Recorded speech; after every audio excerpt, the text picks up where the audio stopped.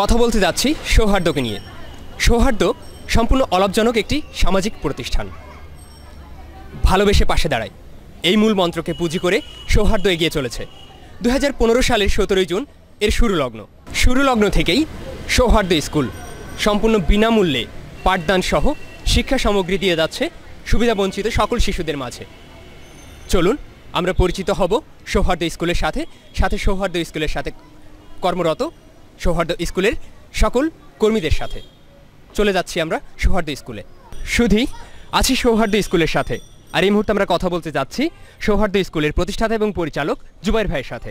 তো জুবাইর ভাই কেমন আছেন? হ্যাঁ ভালো আছে ভালো আছেন। তো সৌহার্দ্য স্কুলের শুরুর দিকের গল্পটা একটু শুনব আপনার কাছ থেকে এবং এখানে কারা আসছে? আসলে তৃণমূল পর্যায়ে যারা শিক্ষা বঞ্চিত শিশু আমরা সচরাচর জানি তাদের সম্পর্কে যদি কিছু বলতেন। এখানে আমরা যাদেরকে পড়াই তারা এখানে মূলত শঙ্করের এই জায়গাটিতে ফুল এবং বেলুন বিক্রি করে থাকে। তো তারা সবাই প্রায় রায়ের বাজার যে বুদ্ধিজীবী কবরস্থানের পাশে যে বস্তিটা আছে, সেখানে তারা থাকে আর কি। তো তাদের পরিবার, তাদের এই পড়াশোনার যে খরচটা সেটা চালাতে পারছে না বা অক্ষম।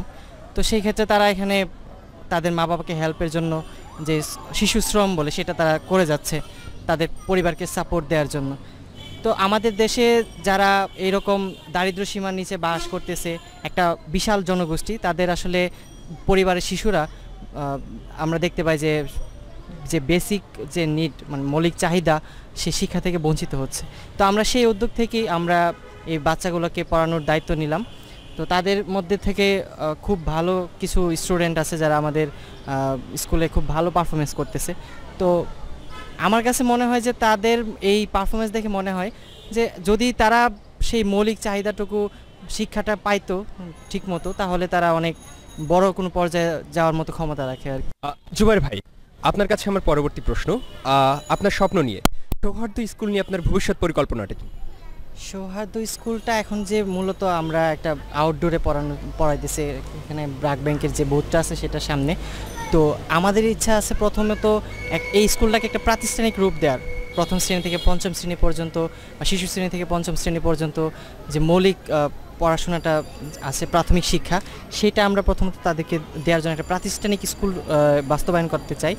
তার পরবর্তীতে সেখান থেকে আমরা পঞ্চম শ্রেণীতে পঞ্চম থেকে শ্রেণি থেকে উত্তীর্ণ হওয়ার পর আমরা তাদেরকে হয়তো একটা ঢাকার একটা ভালো স্কুলে আমাদের সংগঠনের সৌহার্দ্য সংগঠনের আন্ডারে আমরা তাদেরকে পড়ানোর দায়িত্বটা নিতে চাই আর কি।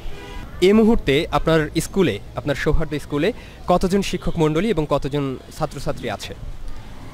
আমরা এই সৌহার্দ্য স্কুলটা চালাচ্ছি হচ্ছে সৌহার্দ্য অর্গানাইজেশনের আন্ডারে তো সেই অর্গানাইজেশনের যতজন মেম্বার এবং যতজন ভলেন্টিয়ার আছেন, তারা প্রায় সবাই স্কুলে শিক্ষকতা করার চেষ্টা করেন। তার মধ্যে থেকে প্রায় আমি বলতে পারি যে বিশ থেকে ত্রিশ জন টিচার এক একজন মানে আসেন আর কি যে ক্রমাগতভাবে তারা পরিবর্তন হয়ে শিক্ষকতা করেন। আর কতজন শিক্ষার্থী বর্তমানে আপনার এখানে আছে? আমরা এখানে বিশ থেকে পঁচিশ জন শিক্ষার্থীকে পড়ানোর চেষ্টা করতেছি। বিশ থেকে পঁচিশ জনের মতো আছে তাই না? আচ্ছা এদের সবার আর্থিক অবস্থার দিকটা আপনি কীভাবে দেখছেন এবং তারা সবাই আসলে কোন শ্রেণির? তারা প্রায় সবাই বললামই তো যে এখানে প্রায় সবাই বেলুন কিংবা ফুল বিক্রি করে। তো সেই ক্ষেত্রে তারা আসলে সমাজের একদম নিম্ন শ্রেণির ইস- আহ, আহ, দারিদ্র্য সীমা নিচে বাস করতেছে। তো তাদেরকে আমরা শুধুমাত্র পড়াশোনায় দিচ্ছি এমন না পড়াশোনার পাশাপাশি আমরা তাদেরকে একবেলা খাবারটা দিচ্ছি এবং পাশাপাশি তাদেরকে পোশাক কিংবা শিক্ষা উপকরণ সবগুলোই তাদেরকে প্রোভাইড করছি। অনেক ধন্যবাদ আপনাকে এত- সুন্দর একটি উদ্যোগ নেওয়ার জন্য। আর সৌহার্দ্যকে আপনি আরও সামনে নিয়ে যান, সে আশাবাদ ব্যক্ত করছি।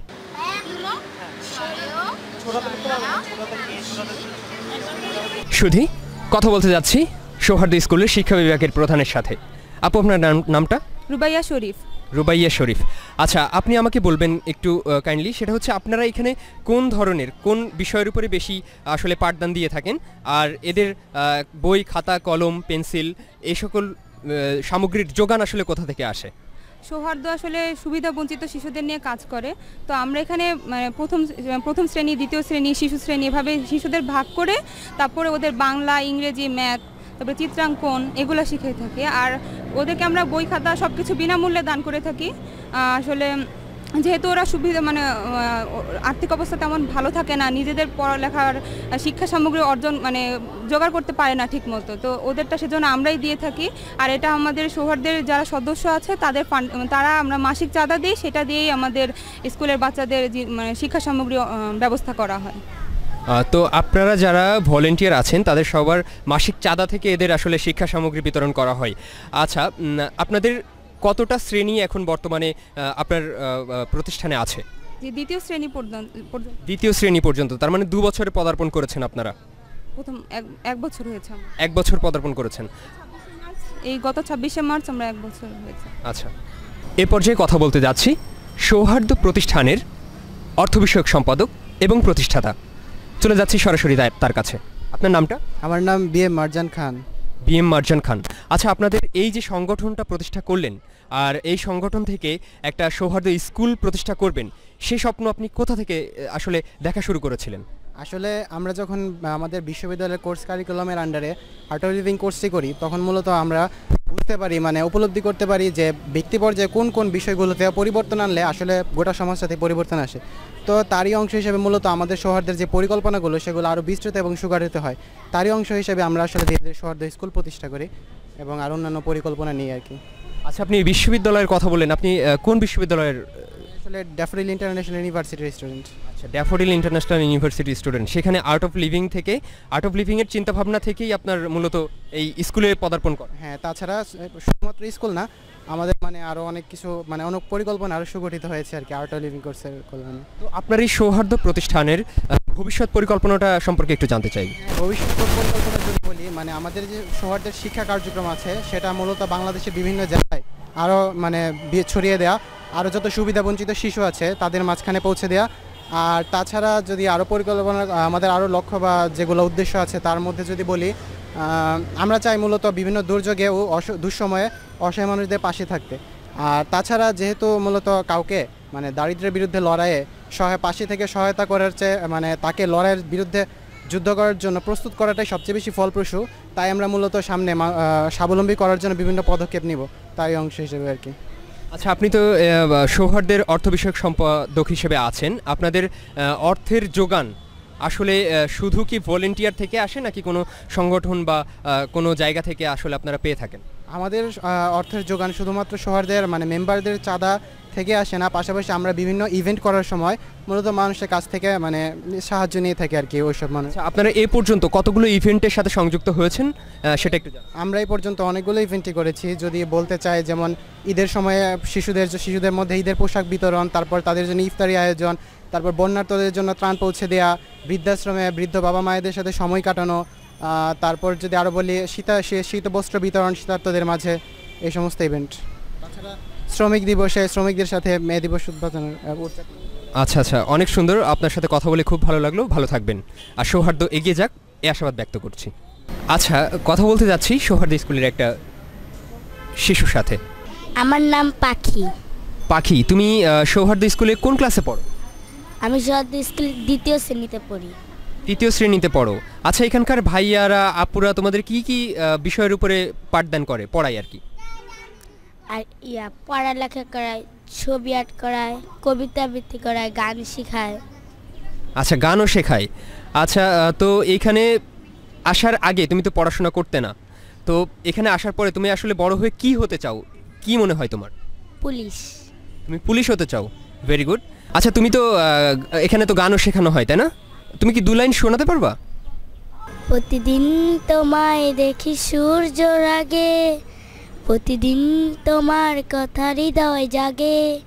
ও আমার দেশ ও আমার বাংলাদেশ। বাবু তোমার নাম কি? রাখি। আরেকবার একটু জোরে বলো তো। রাখি। রাখি আমি শুনেছি তুমি নাকি অনেক সুন্দর কবিতা আবৃত্তি করো। আটা আকাশে টোটা পাখি সারা আটা আকাশে টোটা পাখি। আটা আকা- ডালিম গাছে আমো এত ডাকে তবু কথা কও না কেন বউ? বাবা তোমার নাম কি? তরিকুল ইসলাম। তরিকুল ইসলাম। তুমি কোন ক্লাসে পড়ো? অনেক ক্লাস ওয়ানে আচ্ছা এখানকার ভাইয়ারা তোমাদেরকে কি কি শেখায়? কবিতা আমৃত করাই তারপরে ছবি আঁকায় গান শিখাই গানও শেখায়। আচ্ছা এখানকার আপু ভাইয়ারা তোমাদের যে খাতা কলম বই খাতা এগুলো দেয় তার কোনো ত্রুটি আছে? মানে কোনো ইয়ে আছে তোমাদের মধ্যে? নাই? তোমরা অনেক মানে এখানে আসতে পেরে অনেক হ্যাপি জি আসতে আমাদের আনন্দ লাগে। অনেক আনন্দ লাগে? মা তোমার নাম কি? আমার নাম সাদি আক্তার আখি। সাদিয়া আক্তার রাখি তুমি কোন ক্লাসে পড়ো? আমি দ্বিতীয় শ্রেণীতে পড়ি। দ্বিতীয় শ্রেণীতে পড়ো। আচ্ছা এই যে সৌহার্দ্য স্কুলের একটা স্লোগান আছে তুমি কি এটা জানো? হ্যাঁ। একটু বলতে পারবা? ভালোবেসে পাশে দাঁড়ায়। ভালোবেসে পাশে দাঁড়াই। ভাইয়ারা ভাইয়ারা আপুরা কি তোমাদেরকে ভালোবাসে? হ্যাঁ অনেক ভালোবাসে। ভালোবাসে তারা এই যে ছড়া পড়ায় তারপরে গান শেখায়, তারপরে তারপরে পড়ায়, বইয়ে যা যা পড়া আছে সব পড়ায়। Head and shoulder knees and toes head and shoulder knees and toes head and shoulder knees and toes eyes and mouth mouth and nose head and shoulder knees and toes very good তোমার সাথে কথা বলে অনেক ভালো লাগল।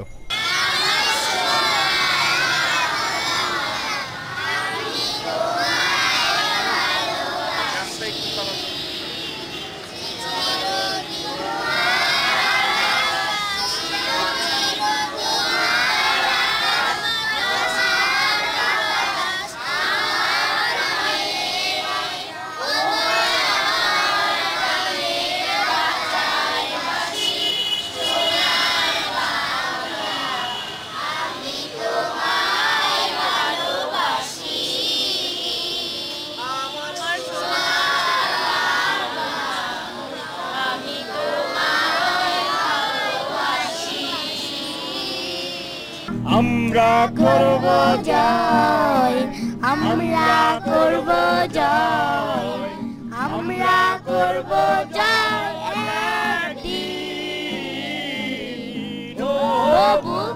গভীরে আছে আমরা করব জয় একদিন। We, we shall overcome. We shall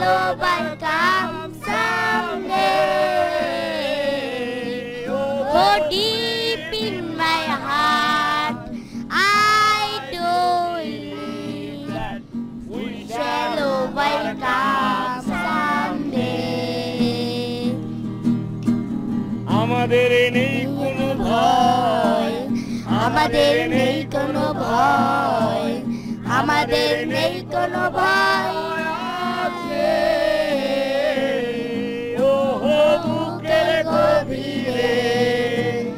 আমরা করেছি আমাদের নেই কোনো ভয়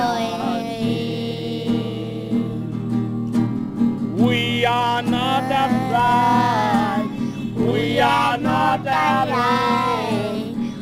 We are not born to wait.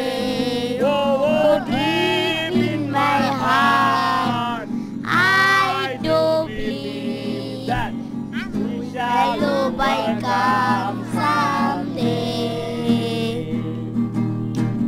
আমরা করব জয় আমরা করব জয় আমরা করব জয়